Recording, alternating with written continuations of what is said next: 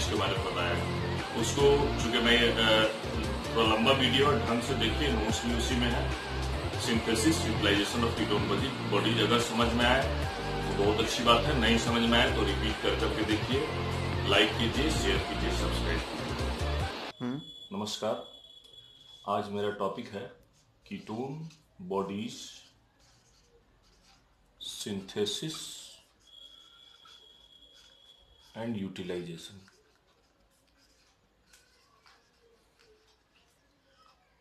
ketone bodies synthesis and utilisation पहले हम ये जानेंगे कि ये कीटोन बॉडीज होता क्या है और कीटोन क्या है। कीटोन आप सबको जानते हैं, ये कीटो ग्रुप है। तो डेफिनेटली ऐसा कोई कंपाउंड होगा जिसमें ये कीटो ग्रुप होगा, उसी को कीटोन बॉडीज बोलते हैं। अभी फ़िलहाल मैं बता दूँ कीटोन बॉडीज हम aceto aceto acetoacetate ketone और beta hydroxy beta hydroxy butyrate, butyrate buta beta hydroxy butyrate इस तीनों को कीटोन बॉडीज बोलते हैं। ये तीनों क्या है और कहाँ से आया? ये सब डिस्कस हम थोड़ी देर बाद करेंगे।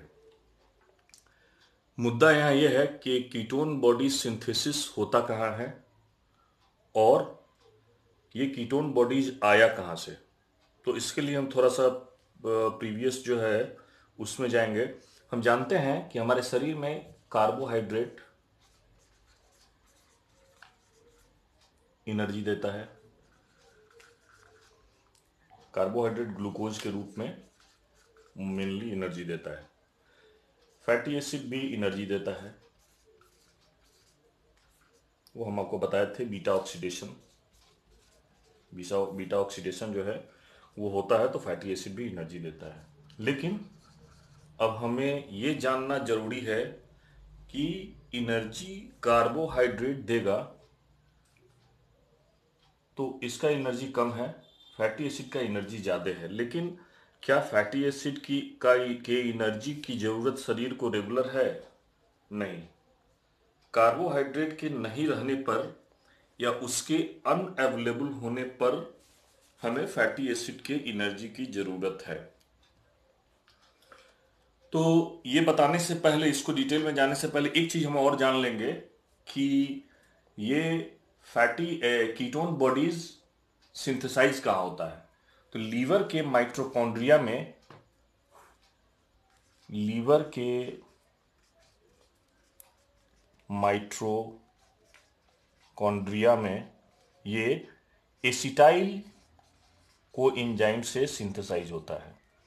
मतलब एसिटाइल को इंजाइम जो है लीवर के माइट्रोकॉन्ड्रिया में कीटोन बॉडीज को सिंथेसाइज करता है। एसिटाइल कोइंजाइम से सिंथेसाइज होता है कीटोन बॉडीज हमारा, ये हम जान लिए। विल डिस्कस इट लेटर थोड़ी देर बाद उसका हम चर्चा करते हैं। अभी हम ये जाने कि इसकी ज़रूरत क्यों है? ये कीटोन बॉडीज आता कहाँ से है? और इसकी ज़रूरत है क्यों? कार्बोहाइड्रेट एनर्जी दे ही रहा है शरीर को तो फिर फैटी एसिड की ज़रूरत क्यों पड़ गई? एक चीज़ आपको मैं बता देना चाहता हूँ कि हमारे शरीर का एक महत्वपूर्ण पार्ट है brain brain is the most important part of our body body का एक बहुत ही इंपॉर्टेंट पार्ट क्या है? ब्रेन है. और ये मेटाबोलिटिकली बहुत एक्टिव होता है.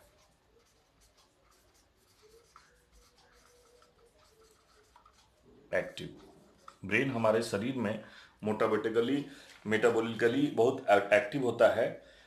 और ये हमारे शरीर का 60 टू 70 परसेंट ग्लूकोज का यूटिलाइजेशन ब्रेन करता है। मतलब कि ग्लूकोज का यूटिलाइजेशन डायरेक्ट ब्रेन करता है, ब्रेन अपने फंक्शनिंग के लिए, और इसको नॉर्मल फंक्शनिंग के लिए भी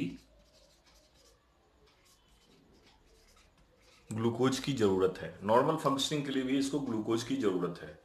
मतलब glucose is the only source of energy for the brain brain का एकमात्र सोर्स ऑफ़ एनर्जी ग्लूकोज है, हमारा ब्रेन फैटी एसिड को यूटिलाइज नहीं करता है, क्योंकि यह ब्लड ब्रेन बैरियर को क्रॉस नहीं कर पाता फैटी एसिड तो मैं क्यों बता रहा हूँ? मैं इसलिए बता रहा हूँ कि अगर ग्लूकोज की कमी हो हमारे शरीर में तो हम alternate source of energy fatty acid का ही इस्तेमाल शरीर करेगा।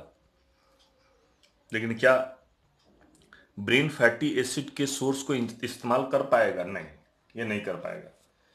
तो इसलिए हम यहाँ पर ब्रेन के बारे में थोड़ा सा और ये बता दें आपको कि चूँकि हमारा शरीर ग्लूकोज का निर्माण फैटी एसिड से उचित मात्रा में नहीं कर पाता, हमारा शरीर फैटी एसिड से ग्लूकोज का निर्माण उचित मात्रा में नहीं कर पाता, इसलिए ही ब्रेन में ग्लूकोज की उपलब्धता कम होगी। तो जब ब्रेन में ग्लूकोज की उपलब्धता कम होगी तो वो क्या करेगा? अमीनो एसिड या कीटोन बॉडीज को फ्यूल के रूप में इस्तेमाल करने के लिए बाध्य होगा। मतलब अगर ब्रेन में हमारा ग्लूकोज कम हो गया ग्लूकोज है ही नहीं शरीर में तो क्या करेगा? फैटी एसिड को तो इस्तेमाल कर नहीं पाएगा। वो इस्तेमाल करेगा अमीनो एसिड को। अमीनो एसिड को इस्तेमाल करेगा या फिर वो कीटोन बॉडीज को इस्तेमाल करेगा। तो ये अमीनो एसिड और कीटोन बॉडीज जो हैं, वो इस्तेमाल होंगे एज ए फ्यूल ब्रेन के लिए। ये इंपॉर्टेंट चीज़ है। मतलब ये कि ब्रेन जो है, वो फैटी एसिड को इस्तेमाल डायरेक्ट नहीं करता है। अब ये केस कब होता है? क्यों ऐसा ज़रूरत पड़ता है कि फैटी एसिड का यूटिलाइजेशन हो? आप जानते हैं फ़ूड आप लेते हैं, ये मान लीजिए ह्यूमन बॉडी है। और ह्यूमन बॉडी का डिफरेंट पार्ट है थाई है थाई है मसल्स है, या जहाँ पर भी एडिपोज टिश्यूज हैं, यहाँ से फैटी एसिड निकलेगा और हमारे बॉडी के सेल्स में जाएगा। कब? जब अगर हम हाई फैट डाइट लें। हाई फैट डाइट लेंगे तो क्या होगा? हाई फैट डाइट लेने पर कार्बोहाइड्रेट लेस हो जाएगा, कम होगा ग्लूकोज कम हो जाएगा। ठीक है? तो एडिपोज टिश्यू से फैटी एसिड ब्रेकडाउन होगा और जाके हमारे सेल के अंदर में माइट्रोकॉन्ड्रिया के अंदर में, पहले हम बता चुके हैं उसका बीटा ऑक्सीडेशन होगा और वो फैटी एसिड का बीटा ऑक्सीडेशन जब सेल के अंदर में बीटा ऑक्सीडेशन होगा तो वहाँ एसिटाइल को इंजाइम बनाएगा, ये हम बता चुके हैं, और ये सिटाइल को इंजाइम सिट्रिक एसिड साइकिल में जाएगा। सिट्रिक एसिड साइकिल में जाके एटीपी देगा एनर्जी देगा हमें। तो ये प्रोसेस है फैटी एसिड के मेटाबॉलिज्म का। फैटी एसिड के से एनर्जी प्राप्त करने का, ये हम बता चुके हैं। अब हम यहाँ देख रहे हैं कि फैटी एसिड की ज़रूरत कब पड़ेगी? जब हम फैट लेंगे ज़्यादा कार्बोहाइड्रेट की मात्रा कम हो जाएगी हमारे शरीर में, या स्टारवेशन उपवास। उपवास करेंगे तो कार्बोहाइड्रेट हम नहीं ले रहे हैं तो उस समय हमारा फैट इस्तेमाल होगा फैटी एसिड इस्तेमाल होगा। या फिर एक और चीज़ है chronic diabetes mellitus type one जब बहुत ही क्रोनिक डायबिटीज़ होगा और इंसुलिन की मात्रा बिल्कुल ही कम हो जाएगी तो ग्लूकोज हमारे सेल में एनर्जी देने के लिए अवेलेबल नहीं होगा। वैसी स्थिति में क्या होगा? फैटी एसिड का एसिड का ही इस्तेमाल होगा। उसी तरह एडिपोज टिश्यू से फैटी एसिड निकलेगा। बॉडी सेल में जाएगा। बॉडी सेल के माइट्रोकॉन्ड्रिया में जाएगा। आपको हम बता चुके हैं बीटा ऑक्सीडेशन होगा एसिटाइल को इंजाइम देगा एसिटाइल को इंजाइम सीटीसी में जाके एटीपी देगा। सिट्रिक एसिड साइकिल में। तो ये सारा प्रोसेस है। अब जब हाई फैट डाइट या लो कार्बोहाइड्रेट डाइट का मानव शरीर ज़्यादा इस्तेमाल करता है या उपवास के दौरान या फिर डायबिटीज़ टाइप वन जब इंसुलिन का निर्माण बिल्कुल बंद हो जाता है, तब जाके कीटोन बॉडी का synthesise ketone body body synthesise होता है और उसका यूटिलाइजेशन होता है। ठीक है? ये चीज़ है। वैसे तो कीटोन बॉडीज का फॉर्मेशन हमेशा होता है लेकिन इसका फॉर्मेशन उपवास के दौरान ज़्यादा बढ़ जाता है। लगातार इंसुलिन की कम मात्रा फैटी एसिड को इंसुलिन की कम मात्रा क्या होगा? फैटी एसिड को एडिपोज टिश्यू से रिलीज़ करने के लिए बाध्य होगा और अधिक मात्रा में कीटोन बॉडीज का सिंथेसिस होगा। अब आपका सवाल ये उठता है कि ये तो हम एडिपोज टिश्यू से बॉडी सेल में जा रहा है ये फैटी एसिड फैटी एसिड फिर हमारा यहाँ बीटा ऑक्सीडेशन हो रहा है एसिटाइल को इंजाइम हो रहा, बन रहा है। तो फिर हमको एनर्जी एटीपी इस तरह सिट्रिक एसिड साइकिल में से मिल जा रहा है एनर्जी तो फिर यहाँ कीटोन बॉडीज कहाँ से आ गया? बिल्कुल सही सवाल है। यहाँ पर अगर एसिटाइल को इंजाइम से हम जब तक सिट्रिक एसिड साइकिल यहाँ थोड़ा सा गौर कीजिएगा। देखिए, समझने वाली बात है। हमारा ये एसिटाइल को इंजाइम जो है, वो ऑक्जोलो एसिटिक एसिटेट से यहाँ एसिटाइल एंजाइम को इंजाइम आता है। और ये सिट्रेट बनाता है और फिर ये सिट्रिक एटिक साइकिल पूरा होता है। ठीक है? तो और वो हमको एनर्जी देता है। लेकिन यहाँ देखिए, acetyl co enzyme fatty acid से बने। ठीक है? और ऑक्जिलो एसिटेट न हो तो क्या यह साइकिल पूरा होगा? नहीं होगा। तो ये acetyl coenzyme fatty acid से बीटा ऑक्सीडेशन के बाद बनता रहेगा, लेकिन उसका यूटिलाइजेशन सिट्रिक एसिड साइकिल में कम हो जाएगा। क्यों? क्योंकि ऑक्जोलो एसिटेट जो है, वो हमारे पास इसकी कमी है। इसकी कमी क्यों होगी? अभी हम बताते हैं, क्यों इसकी कमी होगी? अब हमारे पास इसकी कमी है तो न ये से स्टाइल को इंजाइन से कंबाइन होगा और न ये क्रेप साइकिल को पूरा करेगा। तो जो एक्स्ट्रा बचा हुआ एसिटाइल को इंजाइन जो बन रहा है, जिसका प्रोडक्शन हो रहा है फैटी एसिड से, वो क्या बना देगा? वो कीटोन बॉडीज का निर्माण करेगा। कौन कौन कीटोन बॉडीज का निर्माण करेगा? यही acetoacetate ketone, beta hydroxybutyrate इसी तीनों का वो निर्माण करेगा।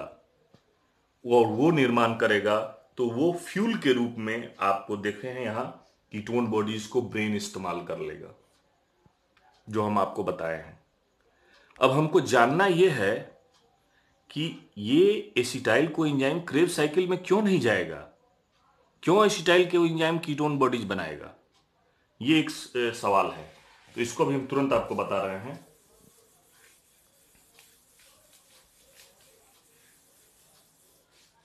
अब हम ये जानना चाहेंगे कि एसिटाइल को इंजाइम ब्रेन क्यों नहीं जाएगा? लीवर में लीवर में इंक्रीज्ड अमाउंट ऑफ़ ग्लूकोनियोजेनेसिस होता है। जब लीवर में ग्लूकोनियोजेनेसिस हो जाता है तो ऑक्जेलो एसिटेट की कमी हो जाती है। ये वही ऑक्जेलिक एसिटेट है जिसके साथ स्टाइल को इंजाइम मिलकर सिट्रिक एसिड साइकिल में जाएगा। ये कमी हो जाएगा, लेस हो जाएगा। तो क्या करेगा? वो acetyl co enzyme citric acid cycle में न जाके कीटोन बॉडीज बनाएगा। अब आप पूछेगा ये ग्लूकोनियोजेनेसिस क्या है?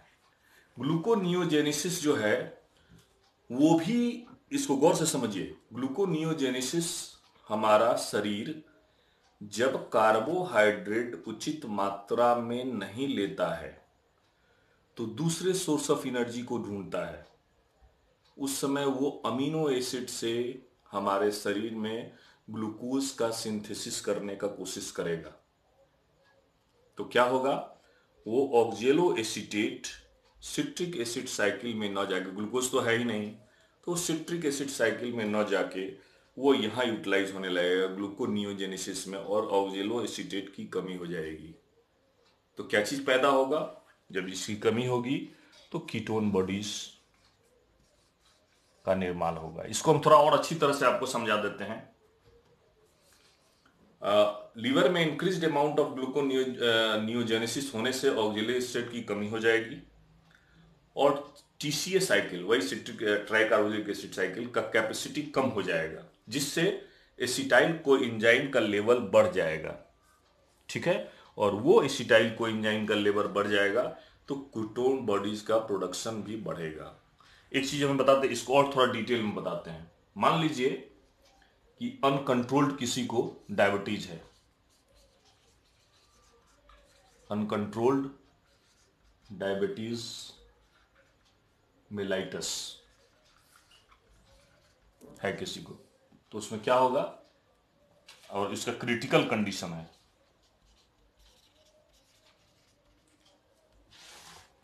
इसका मतलब है, आप जानते हैं कि इंसुलिन का सेक्रेशन कम हो जाता है। इंसुलिन का सेक्रेशन कम हो जाने पर क्या होगा? Decrease glucose concentration inside the cell मतलब सेल के भीतर ग्लूकोज की कमी हो जाएगी। तो क्या होगा? देयर इज़ एक्सिलरेटेड लाइपोलाइसिस मतलब हमारे शरीर के एडिपोज टिश्यू से फटाफट फैटी एसिड निकलना शुरू हो जाएगा, बढ़ जाएगा। दूसरा सोर्स ऑफ़ एनर्जी वो ढूंढेगा। फैटी एसिड एडिपोज टिश्यू से ट्रेवल करके शरीर के सेल के माइट्रोकॉन्ड्रिया में पहुंचेगा। उसके बाद क्या हो जाएगा? जनरेट्स फैटी एसिड लाइपोलाइसिस क्या जनरेट करेगा? फैटी एसिड जनरेट करेगा। And utilization utilization of fatty acid releases large amount of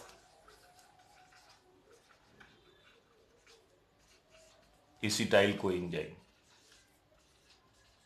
हमारा शरीर में एसिटाइल को इंजाइम का रिलीज़ माइटोकॉन्ड्रिया में ज़्यादा होने लगेगा। और deficiency of oxaloacetate oxaloacetate का डिफिशियंसी हो जाएगा तो इससे क्या होगा? ये style coenzyme ketone bodies का निर्माण करना शुरू कर देगा। वो कैसे करेगा, वो भी हम हमको बताएँगे। दूसरा कंडीशन हम देते हैं स्टारवेशन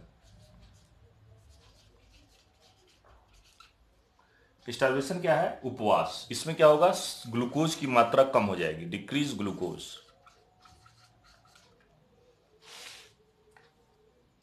and oxaloacetate diverted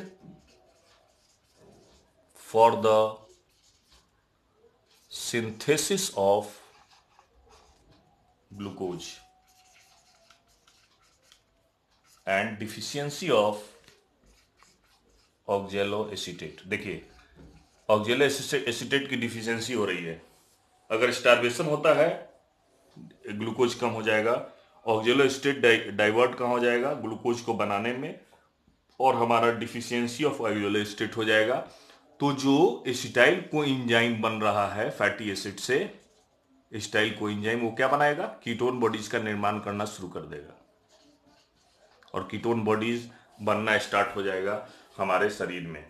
तो ये सब कारण है जो जिसके चलते कि कीटोन बॉडीज का फॉर्मेशन होता है। एक चीज़ और यहाँ बताते हैं कि हमारे शरीर में normal concentration of ketone bodies less than one M per deciliter normal concentration of ketone bodies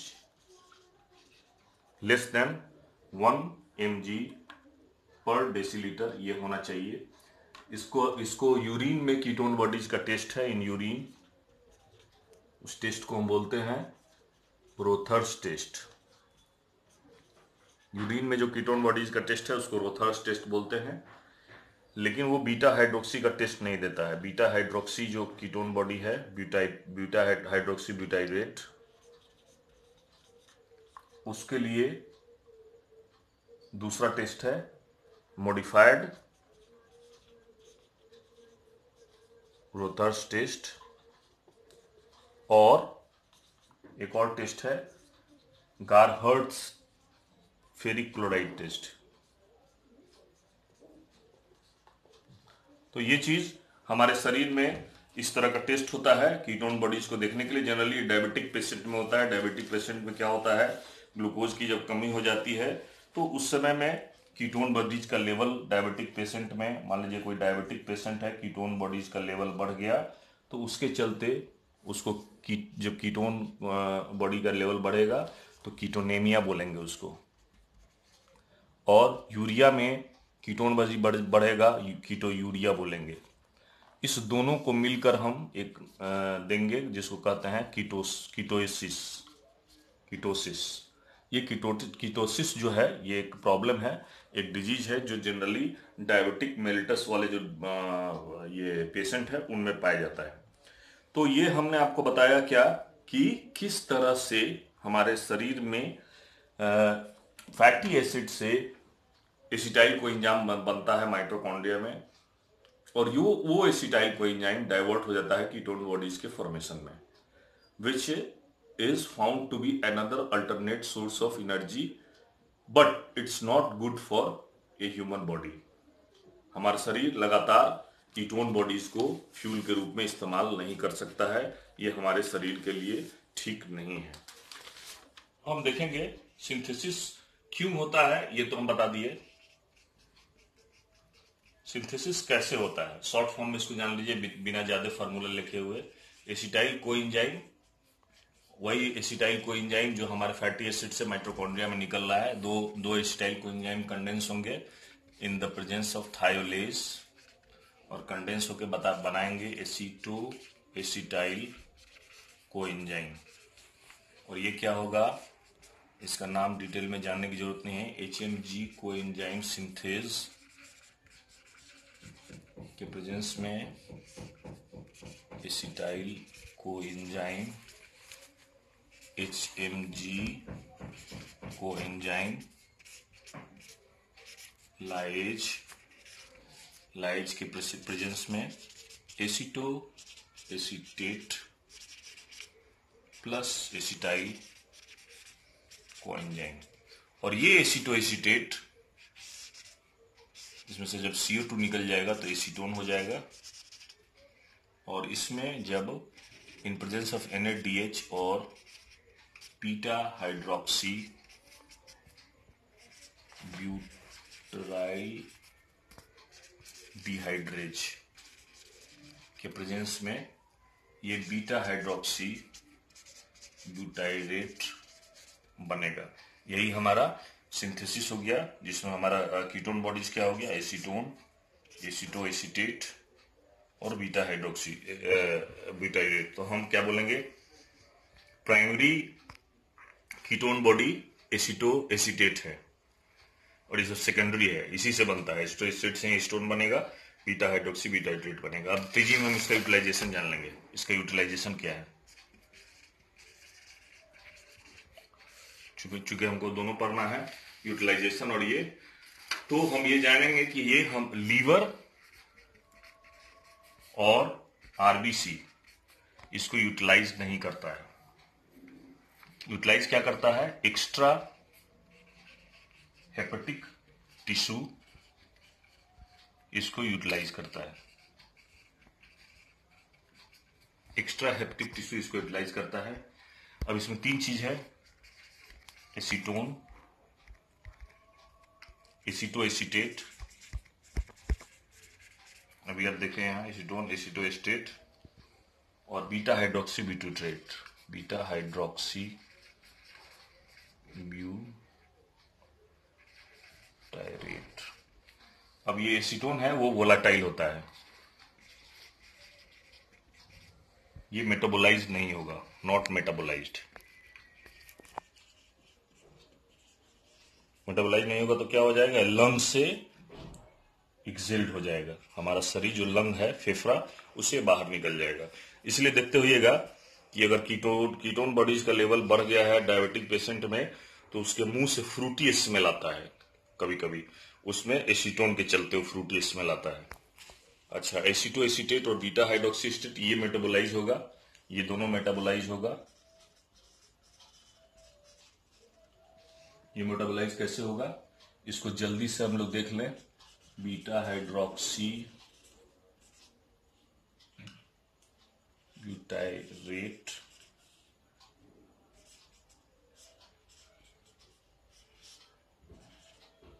D plus N A D H का प्रोडक्शन हो रहा है यहाँ।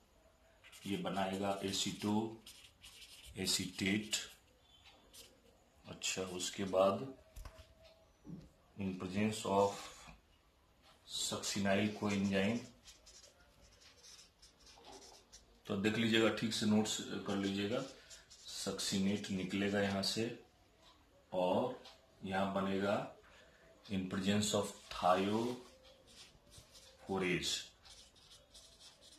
थायोफोरेज जो है, वो बनाएगा एसिटो एसिटाइल को एंजाइम ये थायो थायोफोरेज लीवर में नहीं होता है, ये नॉट प्रेजेंट इन लीवर ये लीवर में नहीं होता है, इसलिए हमारा लीवर जो है, इसको मेटाबोलाइज नहीं करेगा। ये थायरो थायरोफोरेज लीवर में नहीं प्रेजेंट होता है। यहाँ हो जाएगा को एंजाइम एस एच जो कंडेंस करके बनाएगा। Acetyl coenzyme A plus acetyl coenzyme A तो देखिए, किस तरह से बीटा हाइड्रोक्सी ब्यूटाइरेट और का मेटाबोलाइजेशन हुआ और वो बना दिया एसिटाइल को एंजाइम ए ठीक है? तो ये ये टूट के फिर एसिटो एसिटेट भी टूट के यहाँ पर एसिटाइल को एंजाइम ए बना दिया। तो इसका यूटिलाइज कैसे किया? इसका मेटाबॉलिज्म कैसे हुआ हमारे शरीर के एक्स्ट्रा हेप्टिक टिश्यू में? ये यूटिलाइज इस तरह से होगा।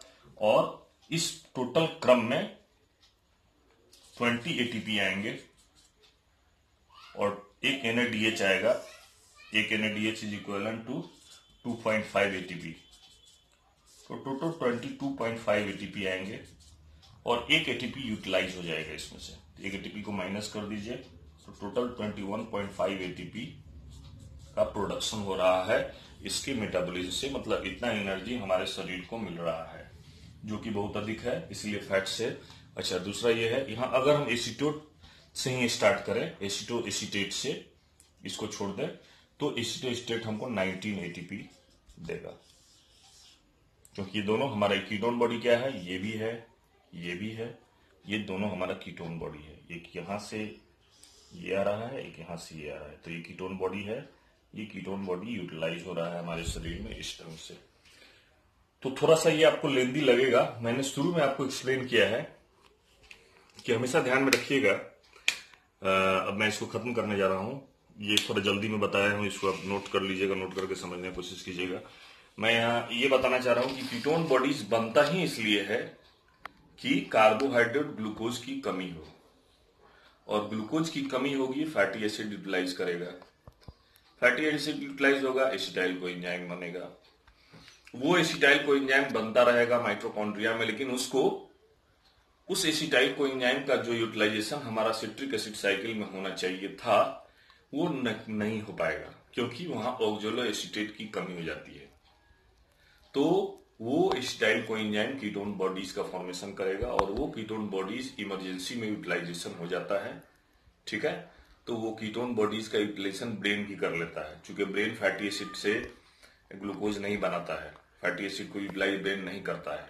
कीटोन बॉडीज को यूटिलाइज कर पाएगा, या फिर वो अमीनो एसिड से को यूटिलाइज करता है। तो वैसी स्थिति में ये सारा क्रम है। ये हमने आपको बताने का पूरा प्रयास किया है कि कीटोन बॉडीज क्या है, उसका यूटिलाइजेशन क्या है। और ये बहुत इंपॉर्टेंट चीज़ भी है। हमको उम्मीद है कि आप लोग को समझ में आएगा, इसको कोशिश कीजिए बार बार रिपीट करके देखने का। और इसको नोट्स बनाइए, जो भी हमने बोला है, उसको रिवाइंड कर करके और उसको लिखिए। वही आपका ये नोट्स है। So this topic is for finished ketone body synthesis and utilization